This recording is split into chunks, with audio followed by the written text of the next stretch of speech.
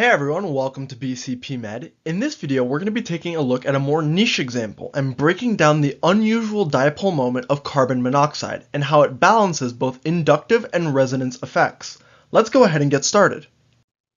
To understand the dipole moment of carbon monoxide, we need to review the two most important factors in determining dipoles to begin with. The first is going to be electronegativity. Consider the CCl bond. In this case, the carbon atom has an electronegativity of about 2.5 and chlorine is about a 3. Because chlorine is about 0.5 units higher than carbon, we would consider this bond as polar, with the chlorine withdrawing electron density from the carbon towards itself. This means that the CCl bond will have separated partial charges with a plus on the carbon and a minus on the chlorine. A dipole moment for the for this molecule would be indicated with the black arrow shown, pointing from the carbon to the chlorine. The other effect that changes dipoles are formal charges, often due to resonance effects. For example, let's look at the molecule below here called methoxybenzene or anisole. Because there is a single bonded oxygen adjacent to the benzene pi system, the lone pair on the oxygen can actually go ahead and donate into the pi system of the benzene to give several alternative resonance structures. We can represent that with some electron pushing arrows here, where we say that the oxygen would push one lone pair here, and that will give a negative charge there on that carbon, which can then once again move to give a negative charge here on this carbon, and then again onto this carbon. So that would leave the oxygen with a partial positive charge to balance out the negative charges on the carbon. And so the overall resonance structure, if we were to combine them into a superposition, would look something like this, with the O with a uh, with a positive charge and the oxygens at the ortho and para positions. These are the ortho positions and this is the para position with partial negative charges. The result of this is a dipole moment for this molecule that would point in this direction with the, the arrow pointing away from the oxygen and towards the benzene ring. Carbon monoxide is now going to give us a case of how we can balance those electronegativity and resonance effects together. Generally, we consider formal charge effects to trump inductive effects due to electronegativity. However, it varies in a case-by-case -case basis, so we need to go ahead and examine what's going to happen with the CO independent of what we see in other molecules. Let's start off with the electronegativity. If we look at the structure, we know that oxygen is going to be significantly more electronegative than carbon, about one electronegativity unit higher in fact. So we expect a very strong inductive dipole pointing towards the O, especially because we have a triple bond, which means a lot of electron density, six whole electrons, are able to be pulled by the oxygen away from the carbon.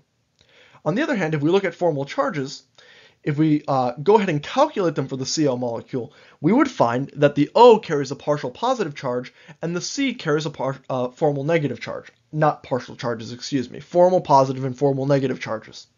So in that case, the dipole moment arrow would actually point towards the right, towards the carbon, which is the opposite direction as we see from the electronegativities, and it would suggest the true dipole is very strong in this direction since these formal charges are irreducible. We can't fold them in into any sort of extra double bond. They're just stuck there.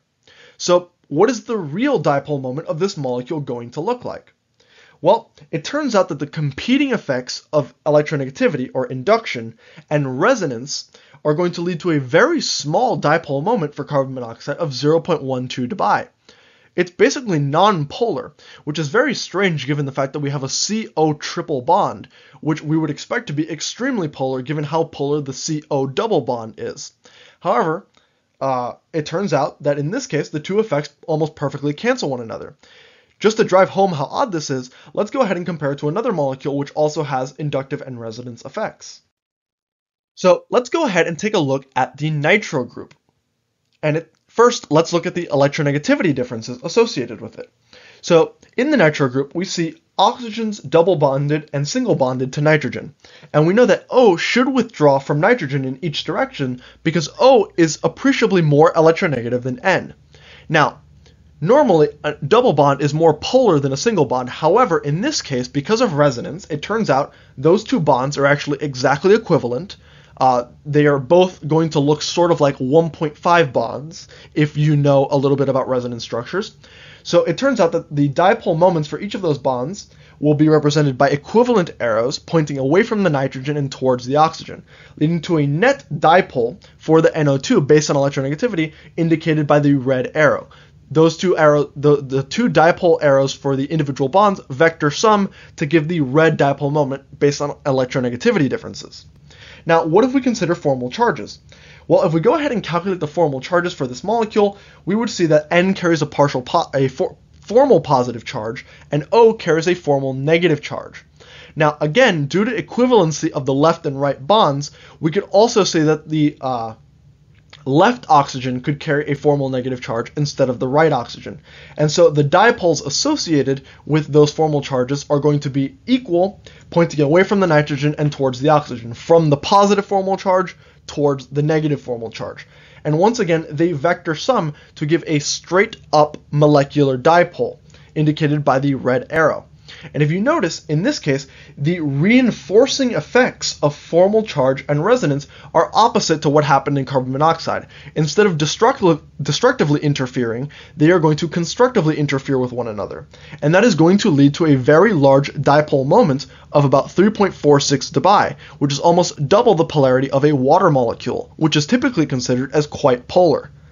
Induction and formal charges are a very delicate balance in a molecule, and whether they add or subtract can lead to pretty extreme effects like a nonpolar carbon-oxygen bond or a hyperpolar NO bond, which normally wouldn't be considered as uh, the typical case. And so with that, we've actually reached the end of the content for this video. Thank you guys so much for watching, and if you enjoy what you saw, please like and subscribe to the channel. Make sure to check out our other videos on the chemistry playlist to learn more, and if you're looking to branch out, check out our other science playlists. See you next time!